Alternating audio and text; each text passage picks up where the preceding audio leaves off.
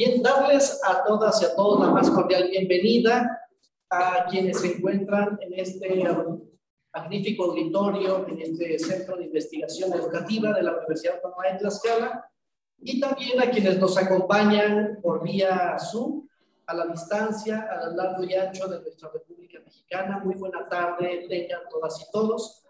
Eh, vamos a dar inicio a esta conferencia magistral el cual pues eh, nos va a llenar de muchísimos conocimientos y nos da mucho orgullo tener a un ponente magistral. Eh, reciban en primer lugar un saludo del rector de la Universidad Autónoma de Tlaxcala, el doctor Serafín Ortiz Ortiz, quien a la distancia les envía un cordial saludo y les agradece su participación y la confianza que tienen en la Autónoma de Tlaxcala. Asimismo, de la secretaria académica, la doctora Margarita Martínez Gómez, quien también les envía un caluroso saludo. Agradecemos también a la Secretaría de Educación Pública, a las autoridades que la conforman, de la comisión también, de sectorial de fortalecimiento académico, todo su apoyo. Eh, por supuesto, a los grandes equipos del doctor Ángel Díaz Barriga, al equipo del Centro de Investigación en Educación. Eh, muchísimas gracias a todas y a todos. Y bueno, el honor que tengo de presentar a quienes eh, me acompañan aquí en el presidium. Eh, en primer lugar, quisiera presentar al doctor Ernesto Ramírez Vicente, nuestro ponente magistral, a quien le agradecemos y le damos la más A ver, préstame tus audífonos. ¿Sirve? Agradecemos también el acompañamiento y presencia aquí en presidio del doctor Paciente Sánchez Rincón, quien es el coordinador de los diplomantes. Muchas gracias. bueno, eh, un servidor, Germán García Montealegre, solamente como coordinador de educación continua de la Autónoma de Tlaxcala, a quien les agradezco a todas y a todos su amable atención.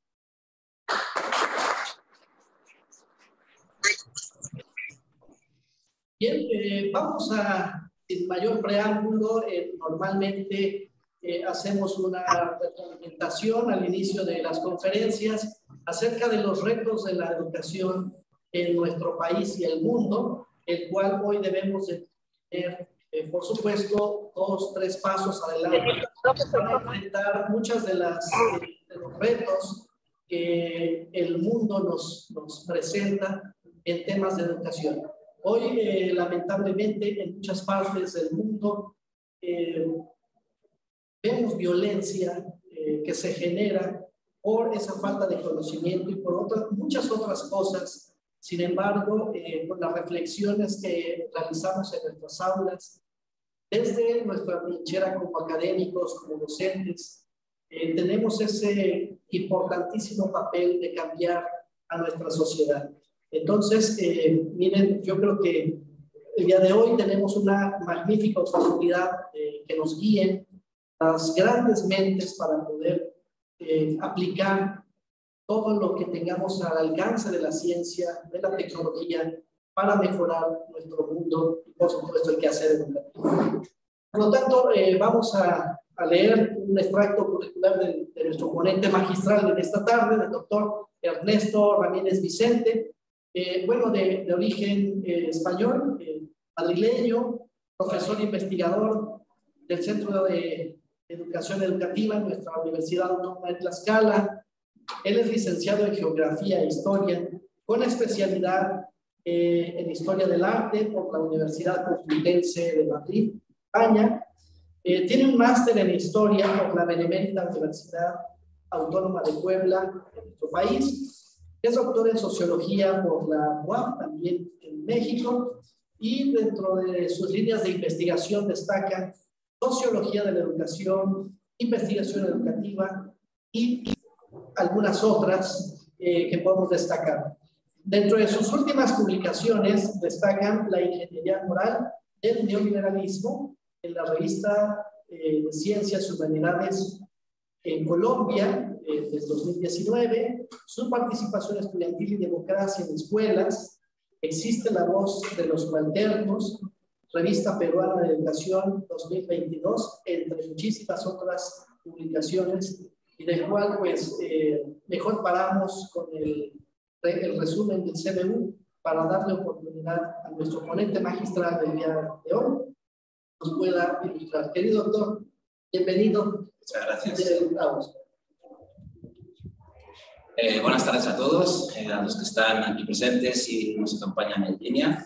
Eh, para mí es un gusto estar aquí y agradecer en primer lugar al propio Centro de Investigación Educativa de Invitación Formal, conjuntamente con eh, Financiación de Formación Continua de la Universidad Autónoma de Tlaxcala.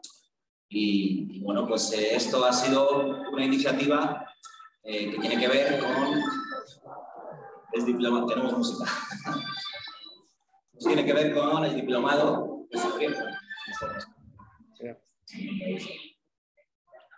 Gracias. Este, sí, bueno, pues la iniciativa surge a partir de eh, por, el diplomado eh, que ya ustedes supongo que conocen eh, y que tengo noticia de que ya ha iniciado, ¿no? Y que deseo muchísima, muchísima suerte.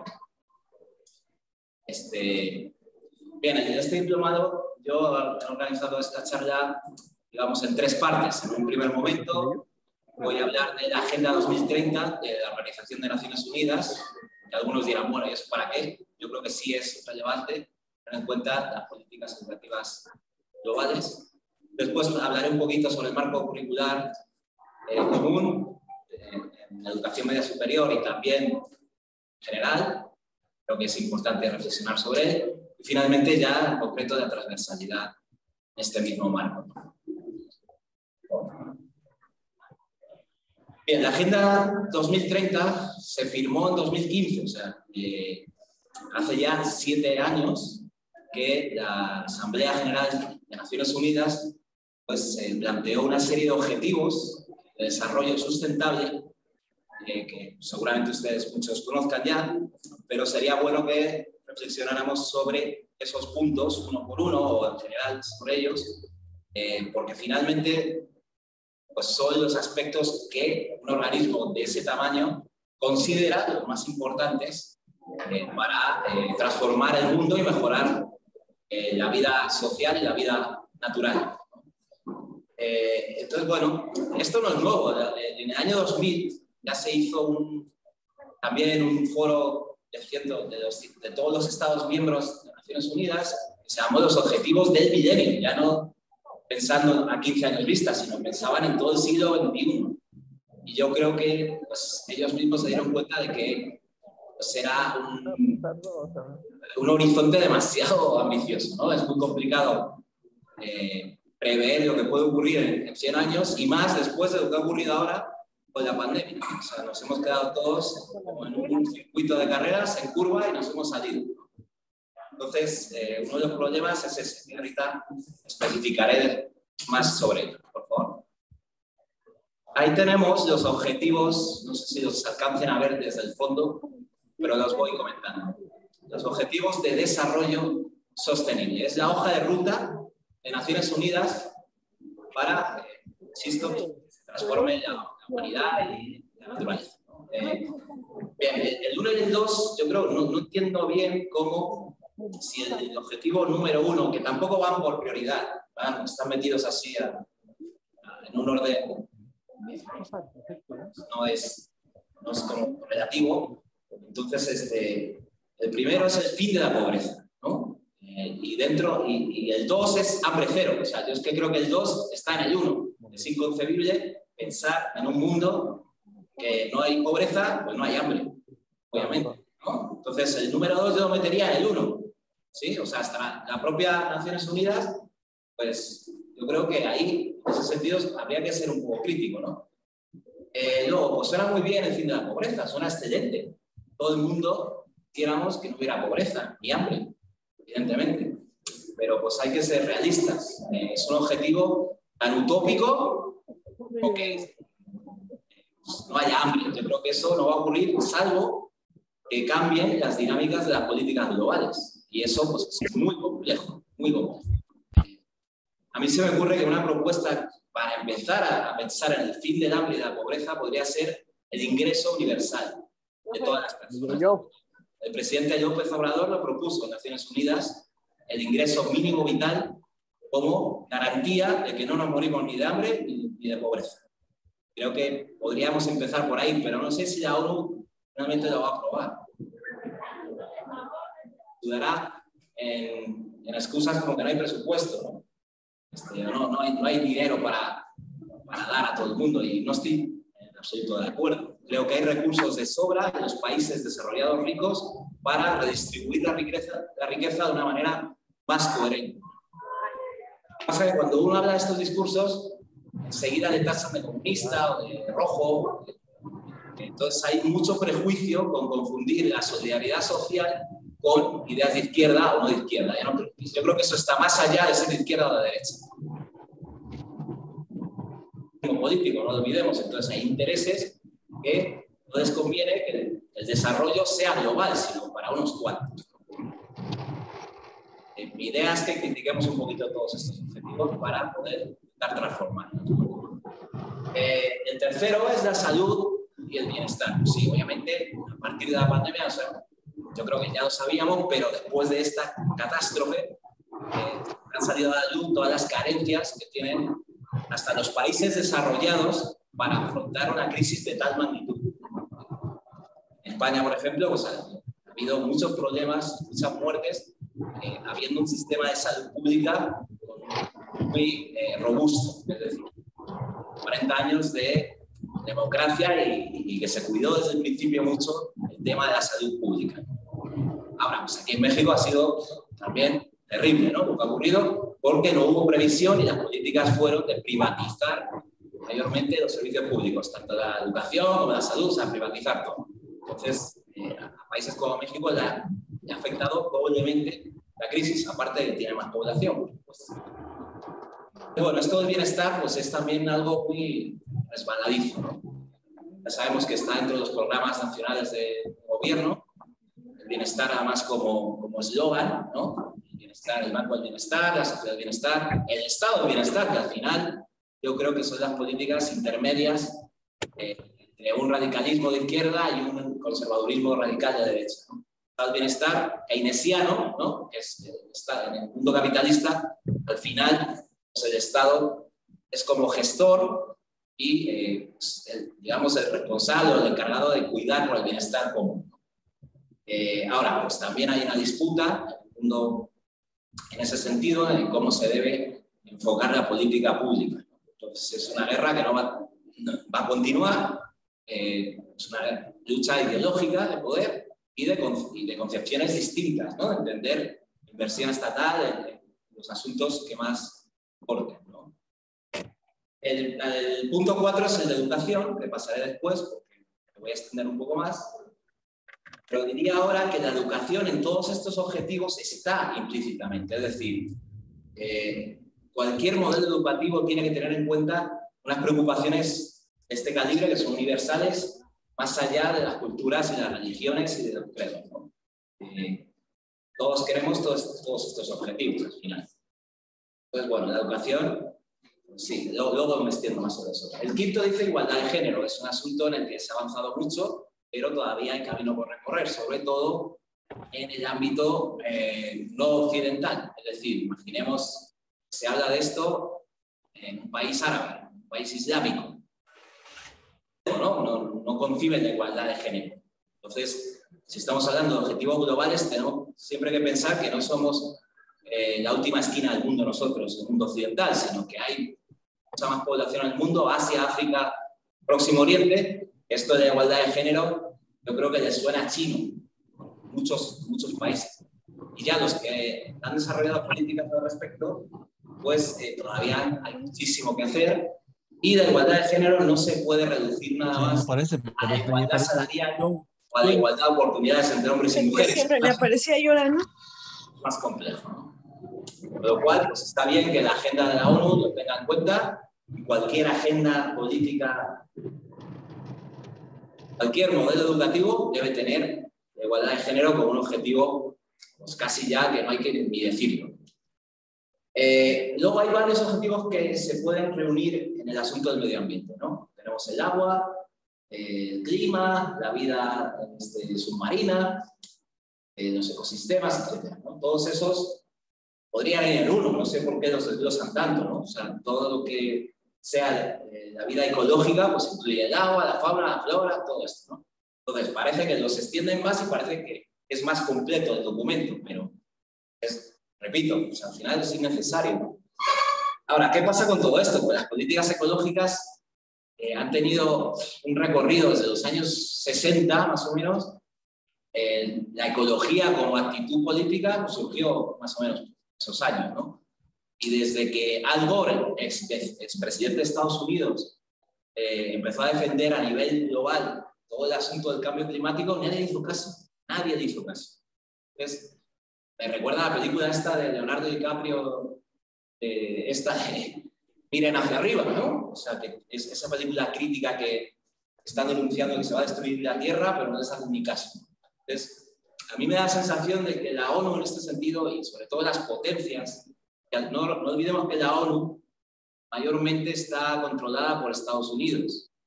Entonces, pues es un organismo que no, desde mi punto de vista, no es neutral.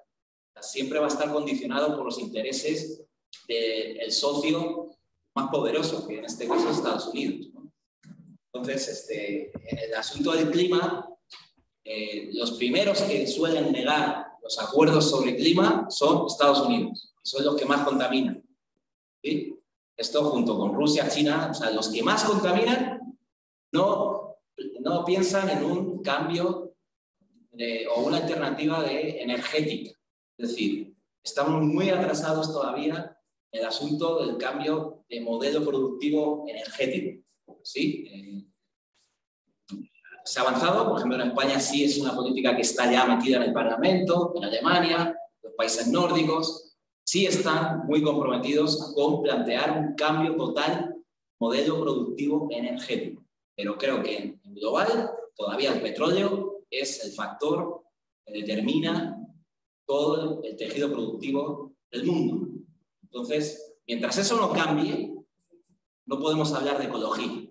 Entonces, lo que pasa que, claro, eh, da vértigo pensar un mundo sin petróleo también, sin aviones, que, o sea, imagínense, sin carros, sin aviones, pues uno dice, nada, o sea, no puede ser, ¿no? Es imposible.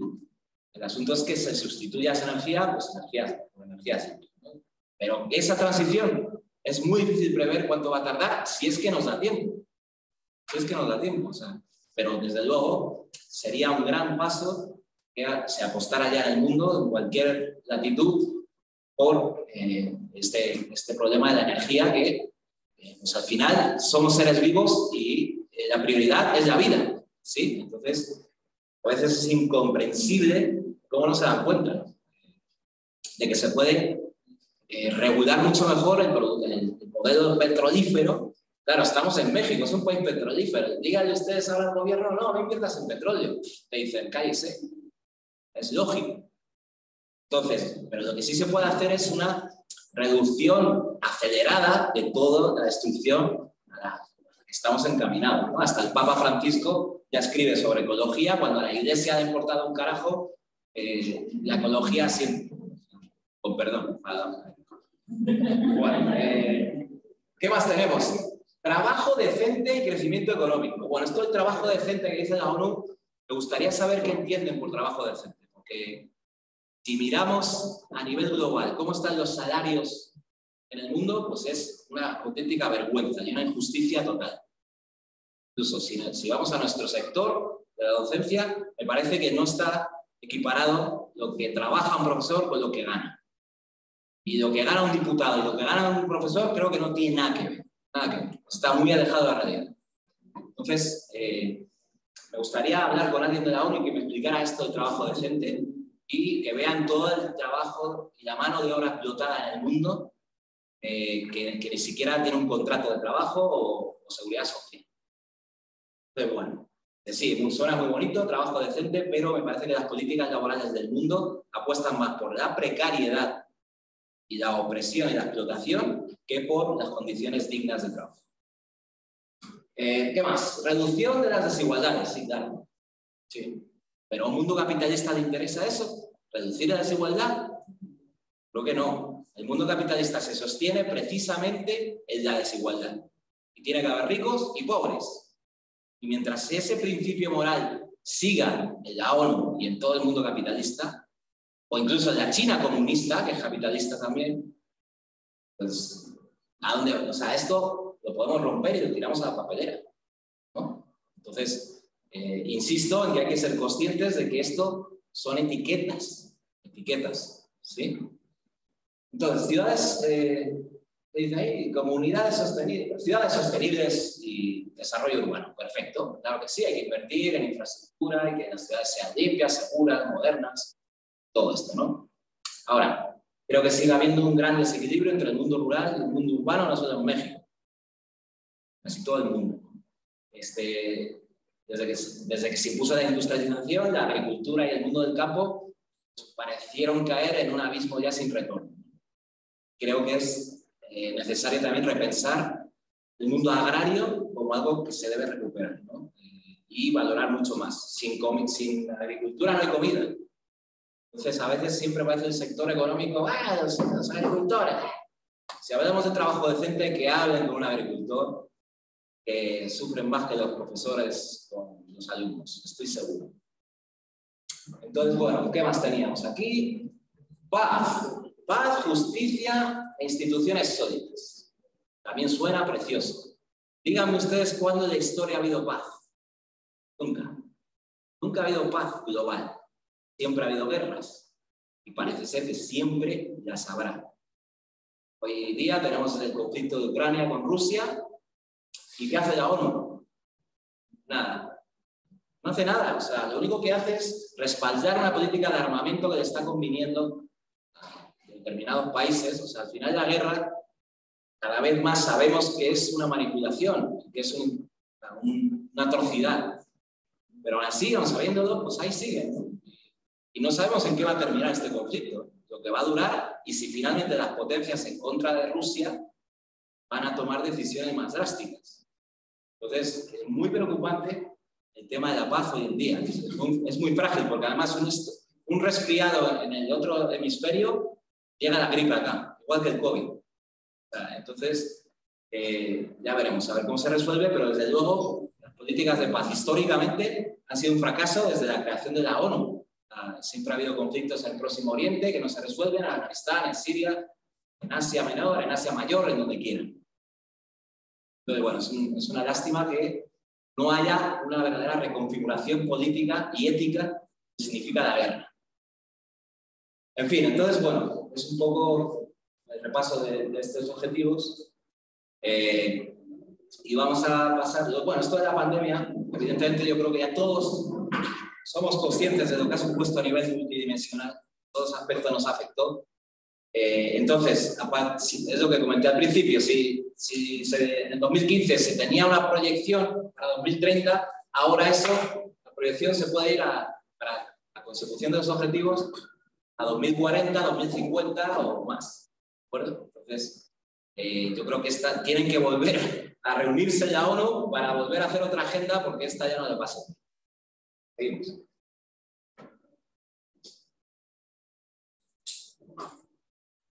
Bien, eh, es muy curioso al respecto de la pandemia cómo los medios de comunicación han tratado el discurso a nivel educativo. Han repetido por activa y por pasiva que hay rezago escolar. Rezago escolar. Tenemos que seguir en clases, clases, clases, clases. ¿No? Eso ha sido todo el rato lo que han repetido en el mundo, aquí también, ¿no? O sea, de repente alumnos, maestros, padres de familia que están en una situación eh, completamente inédita, que nos ha agarrado todos por sorpresa, en el que está en juego la vida, los sistemas este, educativos han apretado más las tuercas, cuando lo que importaba era la vida. La prioridad era seguir vivo, no eh, aprobar materias. Entonces, yo creo que en ese discurso me parece que se, muy cínico eh, todo eso. Al final lo que importa son las cifras y los estándares. Este, cuando no. O sea, no digo que no hay que darle importancia, la, la educación tenía que seguir, se adaptaron todos los países como pudieron, se siguieron las clases en línea, los que no tenían internet pues se llevaban los cuadernos, o sea, ha sido un esfuerzo descomunal todas las sociedades para que la educación siga. Ahora bien, hay mucha hipocresía en todo ese discurso, desde mi punto de vista, ¿no? Eh, porque, vamos a ver, yo no entiendo una cosa. Si lo que importa es aprobar, eh, o sea, pasan en, educación básica está el pase automático de los alumnos, ¿de acuerdo? Entonces, ¿de qué, entonces, ¿de qué sirve todo el discurso de que tenemos que seguir con las clases? Si van a aprobar igual, ¿qué más da? Los estándares se van a mantener. Es preocupante. ¿no? Pues es un poco neurótico ese comportamiento. No sé si me estoy explicando. Entonces, eh, no se ha considerado el estrés de la población de cualquier tipo, más allá de la escuela, y eh, ha habido un exceso de, eh, insisto, neurosis con cumplir los objetivos de terminar el curso que pierde un año escolar. No, no, espérate, es mucho más importante no perder la vida que perder el año escolar. Y eso es lo que el sistema educativo a veces no entendió.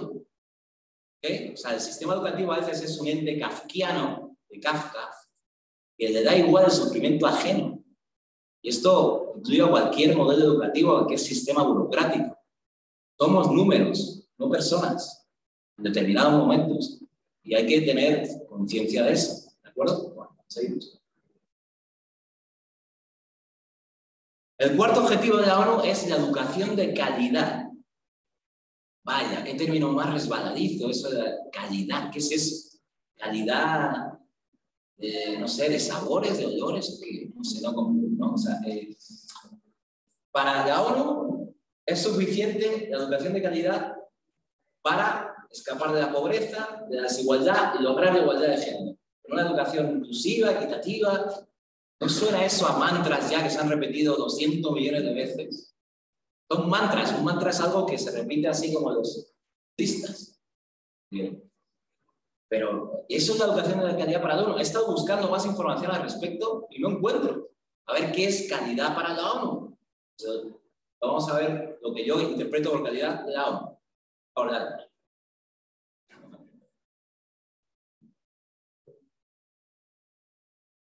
Bien, ahí tenemos un mapa conceptual de las trampas de la calidad educativa.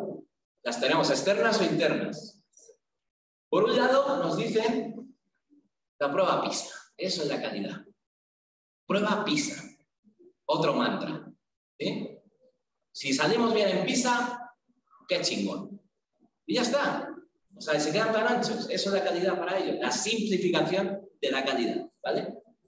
Se confunde también la calidad con tener infraestructuras bonitas, tecnologías, internet, como si eso matemáticamente significara que hay una mejora de la educación por eso. No.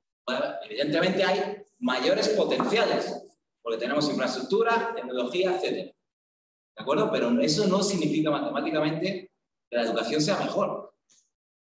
Entonces, otra, otra confusión es, ah, bueno, un, alumno, un docente con menos alumnos, seguro que aprenden mucho mejor todos.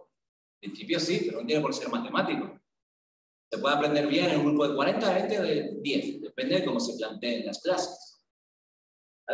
Luego, se distorsiona muchísimo el tema de las calificaciones, la evaluación. Eh, hay una confusión ahí. Si saco un 9 es que soy un alumno excelente y un profesor maravilloso porque todos sacaron 10. Mí me parece que eso también es una... Se queda incompleto en lo que supone el proceso de enseñanza-aprendizaje. No podemos reducir a un número eh, esos, esos procesos tan complejos y tan subjetivos. ¿no? Pero bueno, eh, para la ONU la calidad es un 10, ya está. Eh, luego, lo que es al exterior, pues se compara mucho entre países. ¿no? El, el, mundo occidental desarrollado, las grandes potencias, crean modelos educativos, ¿no? porque los crean ellos, ¿no? y después los, los quieren tras, transponer o, o implantar en países que ellos llaman en vías de desarrollo o en desarrollo, que nunca me gustaron esos conceptos, son muy reparadizos. Eh, eh, a lo que voy es que, bueno, para, para, la calidad de la ONU es, nosotros sabemos la verdad sobre la educación y cómo hay que enseñar, pues México, eh, Latinoamérica y muchas regiones del mundo adoptan esos modelos educativos. ¿no? Y ustedes ya saben que el modelo por competencia fue el que se impuso en 2002 aproximadamente en México. Modelo por competencias. Eso es la calidad para la ONU. Competencias. Competir. Este, la empresa. empresarizar la educación. Eso ha sido la calidad para la ONU y para los organismos que apoyan este concepto, es decir, el Fondo Monetario Internacional, la OCDE, Banco Mundial, todos estos organismos públicos que al final son privados. Entonces, se manipula mucho todo esto con datos. Ah, es que, claro, el nivel de rezago en México es del menos 4%. Ah, y eso les da justificación para imponer políticas públicas de educación. Pues uno de los grandes retos de México y de muchos países es conseguir soberanía y autonomía sobre estas eh, directrices que imponen desde organismos que no son de educación, son económicos. Entonces se confunde educación con economía y con empresa. Eso es lo que está destrozando el sistema educativo. ¿vale? Eh, entonces, esa subordinación al capital, que a estos organismos supranacionales, es lo que tiene que empezar a cambiar. ¿De acuerdo? Porque al final es un sistema de dominación, aunque suene muy trágico, en realidad es eso. Entonces, la, la calidad se convierte en una herramienta de control y de dominación hacia los profesores, hacia los directivos, hacia los alumnos, hacia los padres de familia, hacia todos. Por eso es un sistema hegemónico de poder. Seguimos, dale.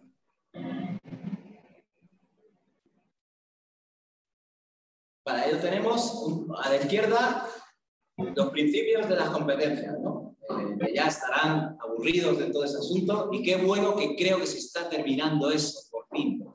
He demostrado que no podemos entender la educación como una empresa, ¿vale? Ni estandarizar los aprendizajes de un modo tan, eh, pues tan eh, tecnocrático.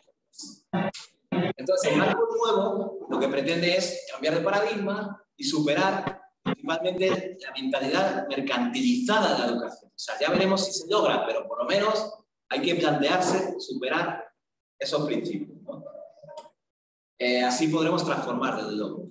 Si no, va a ser imposible. Si hemos con de las competencias, pues pueden venir cuatro pandemias más. Cuatro pandemias más. Seguimos.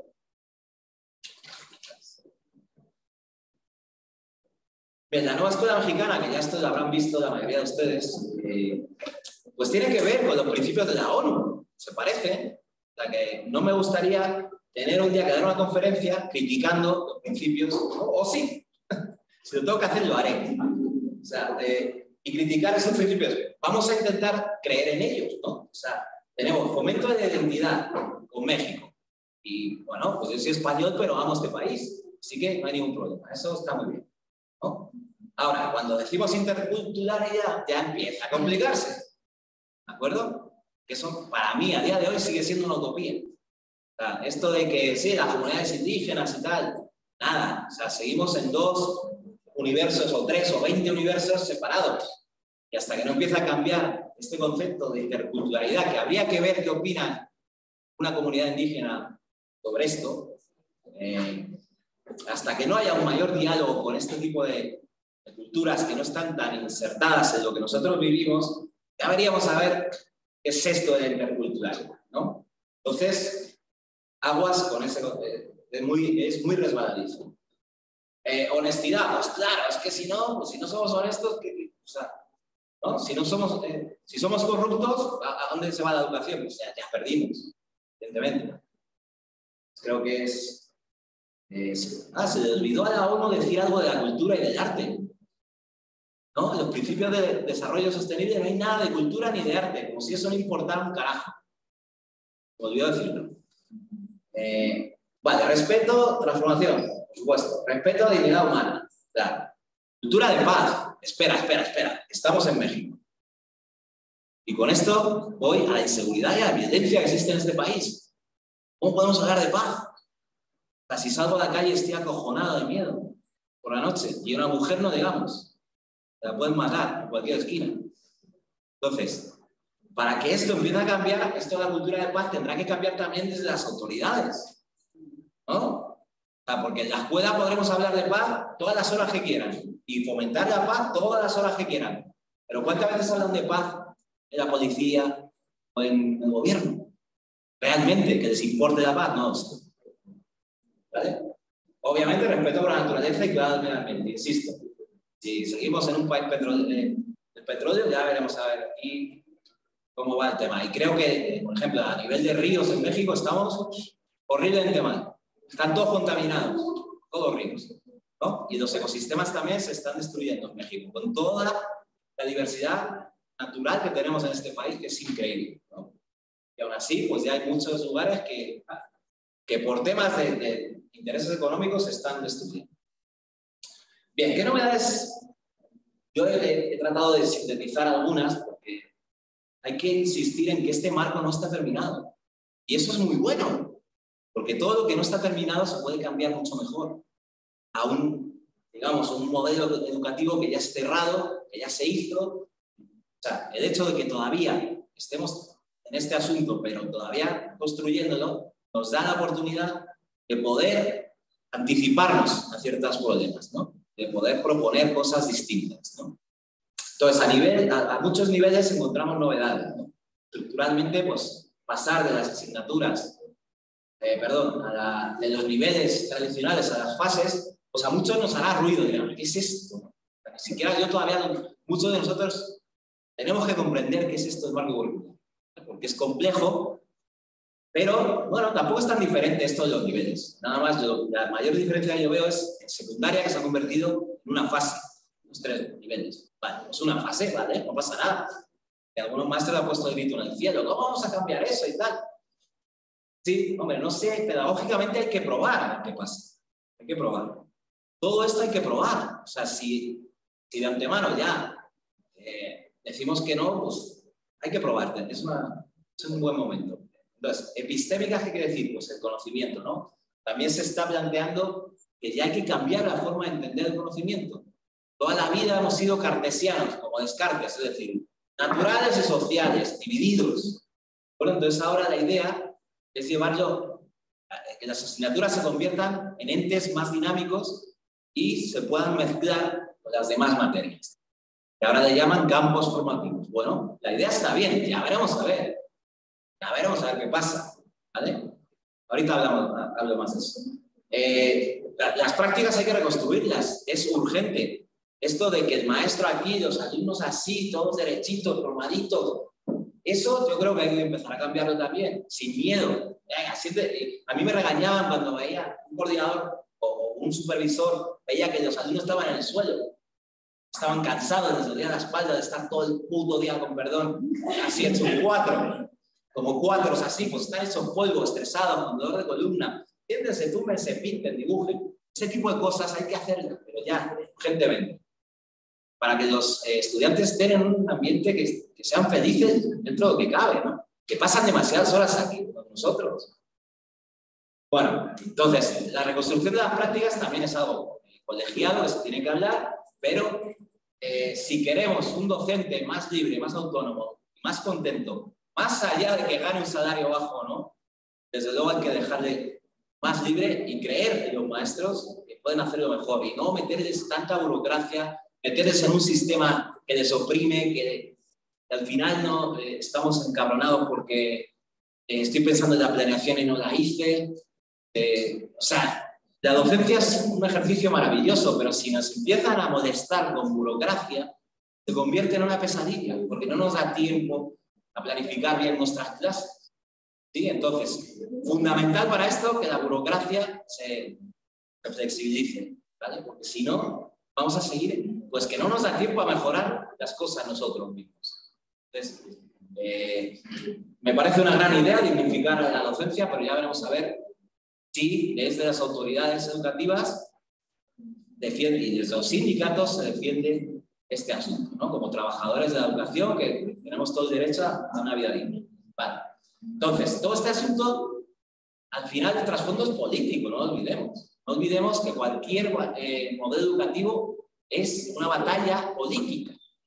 ¿sí? Entonces, hay gente que está en contra de este marco, ¿no? Los sectores más conservadores lo han tachado hasta de comunista, lo han tachado de demasiado utópico, tal igual, que sí, hay que escuchar todas las voces, pero me parece excesivo querer tumbarlo. Si gana las elecciones, eh, no sé, el, el PRIAN, la siguiente legislatura, os aseguro que eso lo tumban. Sí. Lo tumban. Entonces, lo que tampoco, la otra parte, lo que no puede ser es decir a todo que es muy bonito y que, y que Morena, pues ya, ya está. No, no, tampoco es eso. Son las dos extremos. Aquí, al final, los grises es lo mejor, y blanco y negro. Es decir, bueno, vamos a intentar aprovechar la oportunidad que se abrió con sus virtudes y con sus carencias.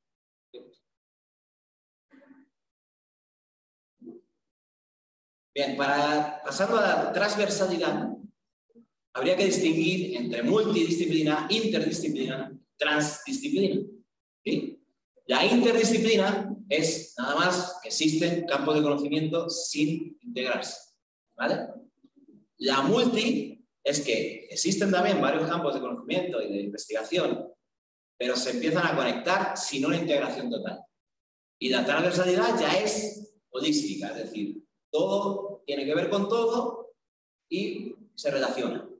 Ahora bien, ¿cómo vamos a aplicar eso didácticamente? Órale, ese es el gran desafío. Ese es el gran desafío. Eh, pero bueno, la idea no es nueva. La transversalidad lleva hablándose de esto 20 años o 30, no sé. Así que tampoco es una cosa que se ha inventado ahora el gobierno federal. Para nada. Entonces, eh, el reto es intentar que cuando a ver, yo, yo llamaría a esta transversalidad más que no solamente pedagógico, habría que ver la transversalidad social. Es decir, ¿dónde? Las academias, por ejemplo. Yo he estado en academias y me ha tocado ver de todo. Me ha tocado ver buenos ambientes y malos ambientes. Es decir, se convierten más en espacios de chisme, de qué dirán, de que te miro de arriba abajo, de reojo, no me digo bien con ese, hay que Perdón. Entonces, si empezamos a pensar en transversalidad social, no va a ocurrir si en las academias no hay armonía. para empezar, no vamos a poder hablar de comunalidad o la comunidad centro, como quiere este proyecto, parece excelente, si no hay una buena convivencia dentro de la escuela. Entonces, primero tiene que haber buen rollo y armonía entre los compañeros de trabajo. Si eso no ocurre, hablar de transversalidad pedagógica va a ser imposible porque tienen que hablar todos los maestros de diferentes áreas. Entonces, un paso primordial es tragarnos los egos y decir, bueno, vamos a pensar en los estudiantes. Más allá de que este tío me cae bien o me cae mal, o está bien. ¿Vale? Entonces, mi idea que quería transmitir hoy no tanto es lo pedagógico, que ni siquiera sabemos cómo lo vamos a aplicar todavía. Vale, puede ser con proyectos de caso, estudios de caso, proyectos colaborativos, Sí, sí, sí, sí, pero la transversalidad muy compleja. Y todo el rato tener que estar mezclando las áreas es muy complicado. Y a veces no es posible, de hecho. Entonces, bueno. Eh, ahora, como paradigma nuevo de conocimiento, vale, sí, eso sí, a mí idea me convence. Primero, hay que armonizar también a las personas que, se van a, que van a dar la clase. Y decir, bueno, ¿cómo lo vamos a hacer? ¿Cómo, cómo transversalizamos esto? Vamos a ver un gráfico. ¿Seguimos? ¿Pasa de esa? Bueno, es que no se ve muy bien desde ahí. Pero bueno, ese es el gráfico que está en el documento de media superior. ¿No? Entonces así queda muy bonito. Y dices, ah, ya está, ya lo hemos logrado. ¿No? Sea, ya está. Hay cuatro campos formativos, tres áreas de conocimiento general, ¿no? Después los valores, y vámonos a comer unos tacos que ya decimos. Pues no, no, no es tan fácil. Entonces, eh, el que sea un especialista en historia tendrá que hablar con el de matemáticas y ponerse de acuerdo. Con de lengua, y con los de cultura digital. Y hay que hablar un montón. Y cada uno tiene una manera de entender la educación. Entonces, vamos a ver cómo armonizamos eso. No, yo es que prefiero hablar primero y que, no sé, hacer una dinámica. Una bronca. Es una bronca. Pero bueno, eso nos, nos obliga a ser más empáticos con el otro, más tolerantes con nosotros mismos y más humildes. Porque claro, cada uno se pone en su trinchera de que yo sé de historia y los demás no saben un carajo, entonces a mí no me hables, ¿eh? o sea, yo soy historiador, güey. Entonces no, no es plan, no es plan. Eh, insisto que sin humildad y sin empatía, sin tolerancia, esta, la transversalidad no se logra por mucho que esté en, la secuencia didáctica, no, ¿no? Luego cada, cada, uno va a hacer la guerra por su lado y eso no puede ser. Entonces, insisto, mi propuesta sería esa, ¿no? Eh, la transversalidad social, ¿vale?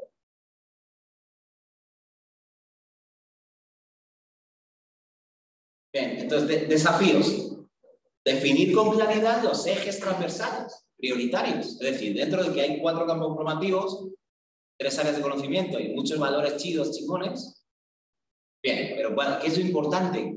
Eso es una gran pregunta. ¿Qué es lo más importante de aprender? O sea, es que eso no tiene, no tiene respuesta porque no tiene fin. Cualquier cosa puede ser interesante. O sea, lo que hay que tratar de cambiar también es verle la utilidad al aprendizaje específica. A lo mejor no sirve para nada. No, ¿cómo que no? Sirve para formarme como persona. ¿Sí? Pero si no le vemos a lo mejor el interés inmediato, decimos, no, no sirve. Hasta los propios estudiantes. ¿Y eso para qué sirve, profe?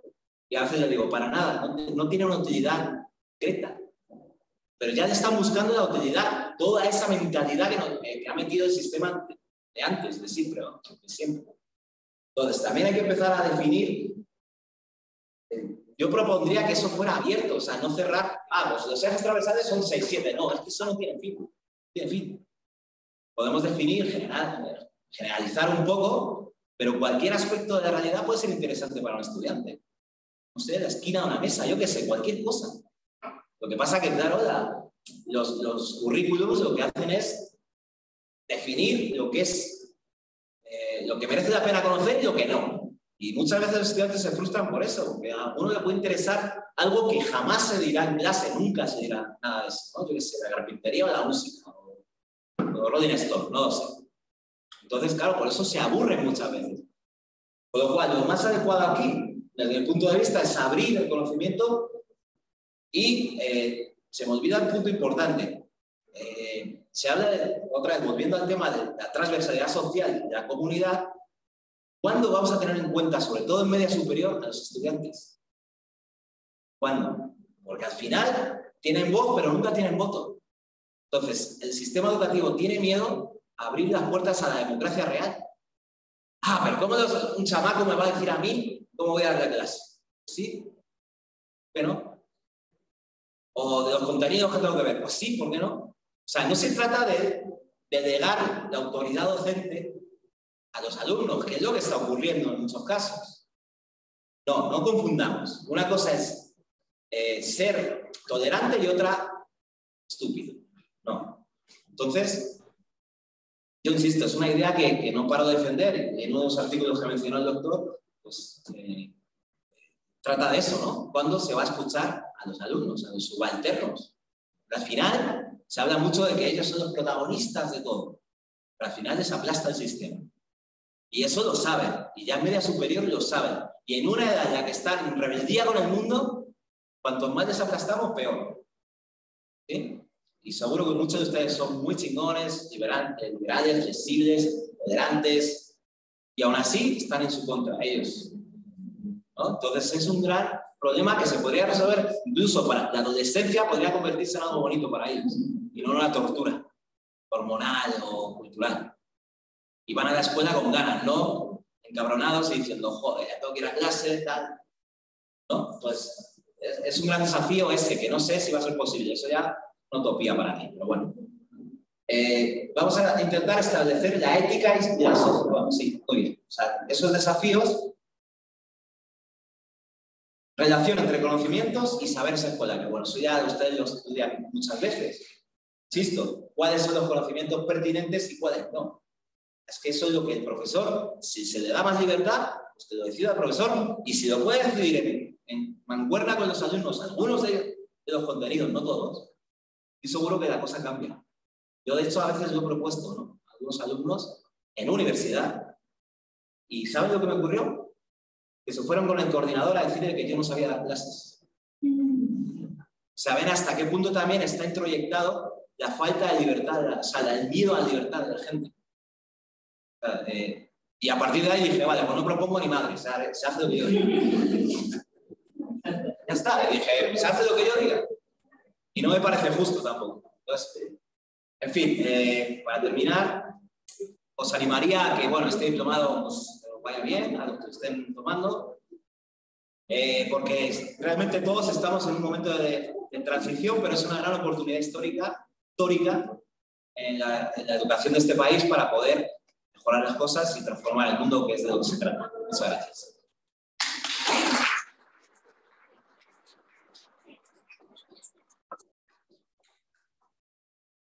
Bueno, muchísimas gracias a nuestro ponente magistral en esta tarde. Y bueno, pues en este momento abrimos una sección de preguntas y respuestas, el cual eh, rogaríamos a quienes se encuentran en, el, en la plataforma, lo puedan hacer por favor a través del chat. Y aquí vamos eh, dándoles la, la oportunidad, vamos leyendo las preguntas y también a quienes se encuentran aquí en el, en el magnífico auditorio del Centro de Investigación Educativa, hacemos también lo propio. Entonces, eh,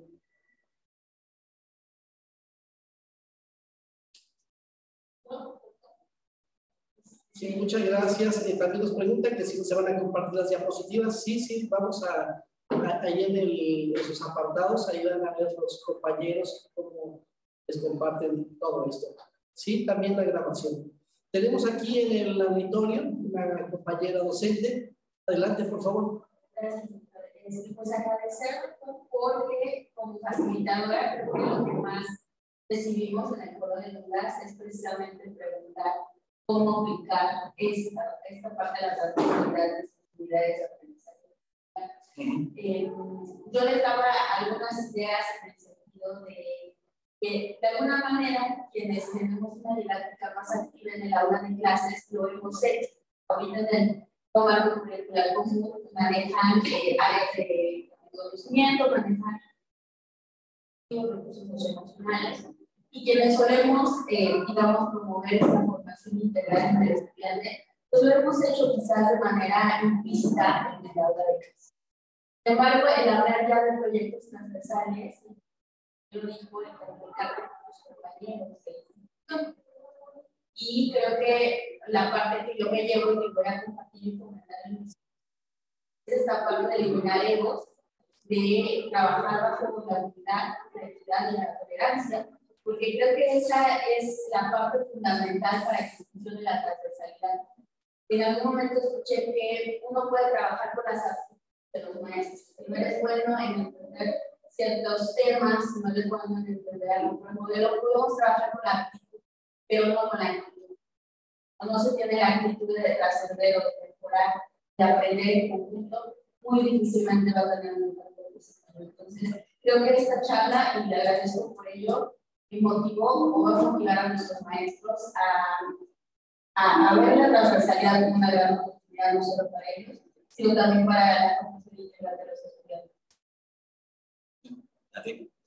Sí, al respecto, pues estoy de acuerdo totalmente, ¿no? Eh, y creo que una manera que podría ayudar es la idea de también abrir a, a, o sea, evidentemente si no hay esa comunicación entre la academia, eh, pero que se puede resolver si, si empezamos a saber qué quieren los alumnos también. es decir, puede facilitar la vida, tener sesiones con ellos previas, en lugar de hacer la típica evaluación diagnóstica que hacemos toda la vida de a ver cuántos conocimientos tienen, eh, se podría hacer de otra manera y decir, bueno, a ver, ¿qué les interesa aprender? Porque ya, ya son entre 15 y 17 años, ¿sabes? Entonces, yo creo que ya tienen inquietudes, con lo cual, eh, si los profesores en conjunto están de acuerdo con esa idea y, son capaces de tolerar que hay contenidos que están más allá, pues la transversalidad lo que pretende es que los profesores sepamos un poquito de todo, ¿no? Y eso nos obligaría a decir, bueno, si le interesa las matemáticas, la geometría, no sé quién, pues hacer lo posible porque eso ocurra. Insisto, no en todo el plan eh, anual, porque eso, insisto, puede ser hasta contraproducente, que uno estaría trabajando y luego hace de lo que diga el alumno, ¿no? Entonces, una manera podría ser esa. Ahora, a nivel didáctico, eh, hay muchas formas de, enfocarlo y, eso es con diálogo, más, con propuestas, con cursos de ese tipo, con formación permanente, que eso es muy polémico también. la formación de los profesores Muchos ya estamos hasta el gorro de cursos, diplomados, que si las competencias, luego que si vida saludable, que si drogadicciones, que si no sé qué, y nos lo ponen los sábados, este, ¿no? Entonces, claro, sí, pero si ya cansamos a los, se cansan los maestros, es porque también el panorama de cambio es, es, muy reducido, o, o, lo vemos a veces muy pequeño. Por eso yo intento pensar más ambiciosamente en términos de libertad. O sea, decir, bueno, si llego a clase y estoy moviendo libertad, ya está. O sea, si se sienten siete alumnos más libres conmigo, perfecto. Y eso puede, a veces hasta planean ellos y nosotros no. No sé si respondí un poco por ahí. Gracias. También aquí en el auditorio este, hay participaciones. Ahorita vamos a, leer una felicitación por parte de Shekina Cortés y también eh, está identificada como biología. Muchas gracias, le interesó muchísimo el tema. Muchas gracias, doctor. Quiero en principio felicitar a nuestro invitado, planteaba la maestra del CEL. Biología tenemos como elemento común es que somos facilitadores, personal en su mayoría del campo de Tlaxcala. Esto nos lleva, por ejemplo, a ver cómo se han venido haciendo intentos importantes. Algunos se vieron afectados por la pandemia. Ciertamente esto eh, trastocó muchos eh, avances, muchos experimentos. Ya lo importante que tiene la toma de Tlaxcala, educativo, lo vemos reflejado en los planes y programas de estudio en razón ejemplo, de como un divisional, son 8 o 10 las unidades de aprendizaje que se tienen ahí, pero destacan, digamos, las últimas cuatro que se han incorporado. Se empezó con la realización, un rollo eh, interesante de, de poder discutir, sobre todo en términos, ahora en, este, en esta gran fase que es del 023, y que en esa parte, desde la perspectiva de los psicólogos, sabemos pues que es la parte efectivamente en donde se dan posibilidades de la autoorganización, pero digamos por ahí se fue abriendo esta brecha importante para después sumarle formación democrática, formación ciudadana a partir de esa reflexión que formamos profesionales que tenemos la responsabilidad social de formar ciudadanía. Y también es otro otro sendero importante que tiene la universidad. Y uno, tengo la fortuna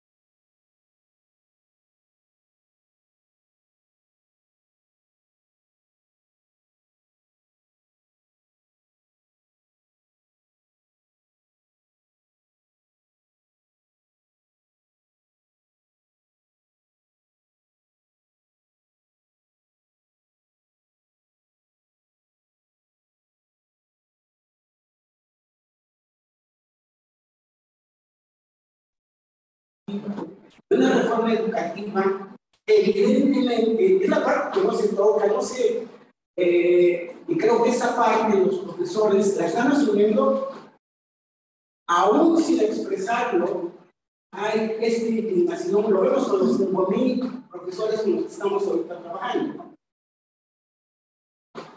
De cara esta aceptación, están viendo algunos elementos muy importantes sin que se esté tocando abiertamente, que es en términos ideológicos, tiene el sello de un gobierno en particular. Usted lo dijo acertadamente, cada gobierno le pone un sello a través de su modelo educativo y creo que en ese sentido tiene enormes partes que son riquísimas y lo último que comentaba, alumnos y maestros, La obligación es muy clara. Son los agentes de cambio. Son en los que está cayendo la responsabilidad social de generar un cambio. Y obviamente vemos eh, grandes cuestionamientos muy interesantes. Escuchar, por ejemplo, algo que se ha venido preguntando es, bueno, ¿por qué está la prohibición casi de hablar de competencias? Pues la respuesta, los argumentos no nos han dado, hay modelos desde la perspectiva neoliberal y modelos desde la perspectiva más de carácter eh, social, ¿no? Y esto marca grandes diferencias de fondo. En tanto existan grandes brechas y en tanto lo que suceda en Ucrania es un enorme negocio, algo le conviene y hace que le conviene es el que determina toda la política de Naciones Unidas. Entonces, dice uno, ¿hacia dónde entonces nos está llevando esto? ¿Qué nos queda? Poder finalmente hacer nuestra tarea con quienes en este momento de manera directa se puede trabajar. Y viene la gran pregunta, y ahí sí quisiera ponerme digamos, si no como portavoz una inquietud que estamos recibiendo de los facilitadores, es decir, oigan, díganos cómo hacemos actividades que tengan este carácter de transversalidad. Y es una pregunta muy compleja y muy difícil también la respuesta dar. Todo esto me regresa a la parte inicial y con esto, con esto concluyo. La universidad, antes de la pandemia, y con base a esto que describía, estas nuevas unidades de aprendizaje, proponen elementos interesantes que van en esa, en esa línea. Se elaboran, se venía haciendo ya casi en todas las facultades, al final del semestre, actividades que se denominaron integradoras, pero que en el fondo subyace el carácter interdisciplinario o de transversalidad. Y los ocho profesores que damos clase en un semestre, era bien difícil por principio decir, maestra, estoy de acuerdo con usted, ¿no? Que usted tiene un perfil profesional que yo creía o me engañaba, y esa no es que yo soy terapeuta y como terapeuta, pues bueno, no, no es cierto. La cuestión que decía la maestra es de poder, estamos pensando los jóvenes de cómo hacer todo un mundo de actividades, pero no en el centro del debate al profesor. Es como los, los terapeutas dicen, ven con que te va a ayudar en términos de la salud, de tu salud mental está bien. Y, y siempre lo hemos cuestionado, es que que los terapeutas, si no están bajo análisis, aguas, ¿eh? porque nada te garantiza que lo que van a ir conduciendo sea lo correcto. Eso no puede pasar. Entonces, como actividad integradora, sentarnos hoy, reconocer que estamos duplicando más del 50% de contenidos, ese es un gran problema. Y decir, bueno, ¿cómo vamos a hacer una actividad que vamos a incorporar a los jóvenes? Vamos a empoderarlos. Es darles voz. Usted lo decía, y de darles voto, de darles un protagonismo que nos están demandando. Si no damos esa libertad, ellos no van a ser capaces de podernos decir, acompáñame porque en esta, eh, bajo la perspectiva del construccionismo, ¿sabes qué? No vamos a llegar a ningún lado tú no cambias de Entonces los maestros como que están esperando todos los laboratorios, oigan, ¿y qué onda con esto de la transversalidad? Eso nos llevó a hacer debates, a tener foros, a tener hasta obras de teatro con los alumnos, en donde tenían que recoger de las ocho unidades de aprendizaje los conocimientos e integrarlas en una sola actividad. ¿Qué trabajo costó el primero, el segundo año? Pero después ya se iban desarrollando a partir de un trabajo colegiado, colaborativo, etcétera, en donde esa es la gran pregunta que nos hacen. Yo la retomo, se la planteo, lo así como a manera de algunas líneas generales, ¿cómo? Porque es el elemento más importante en este momento, no el de la integralidad, de alguna manera estamos hablando de la integralidad, hay interdisciplina, por lo tanto, hay transversalidad. Esa sería mi pregunta. Este, bueno, muchas felicidades. Muchas gracias y gracias por la pregunta. Eh. Y como bien dices, pues no es una respuesta fácil, es decir, va a depender mucho, primero, de qué tipo de escuela estemos, de dónde esté esa escuela, cuántos alumnos sean, eh, cuántos profesores hay, ¿no? Entonces hay una serie de elementos que también van a condicionar lo que uno planifica o no planifica. ¿no? A nivel didáctico hay un millón de posibilidades y la transversalidad no es nueva, ya, ya la aplicaron con esa actividad del teatro.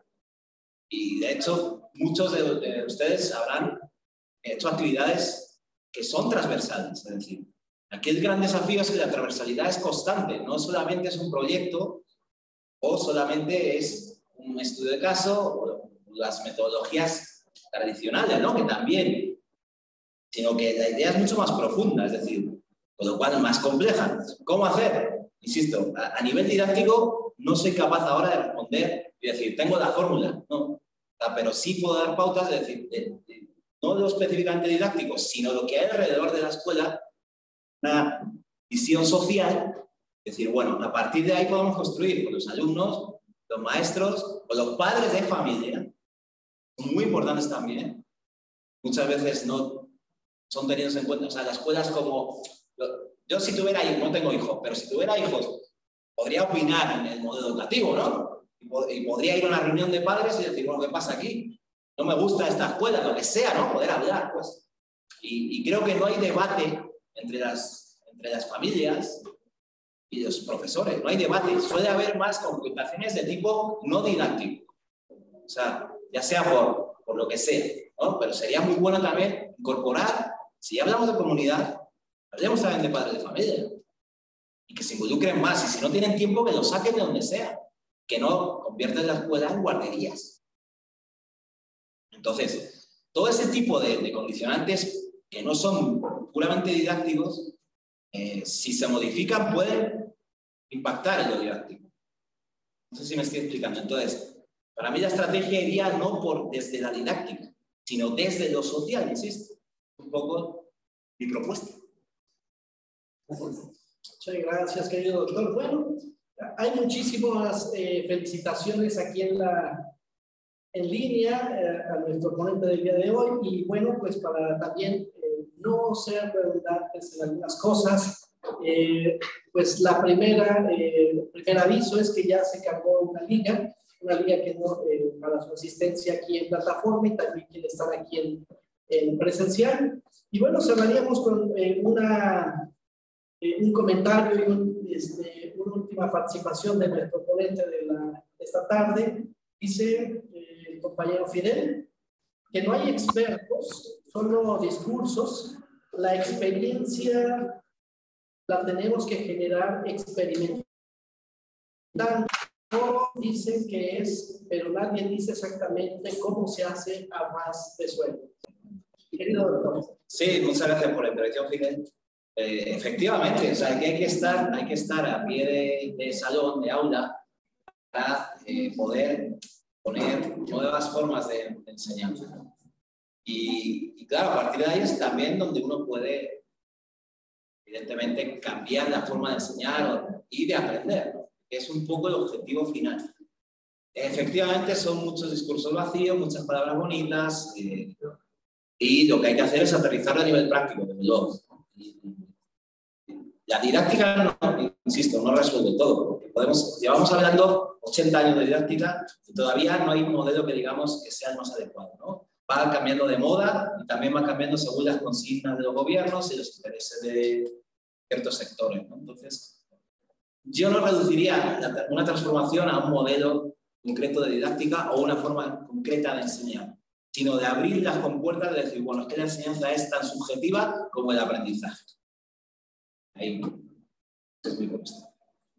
Muchísimas gracias, querido doctor.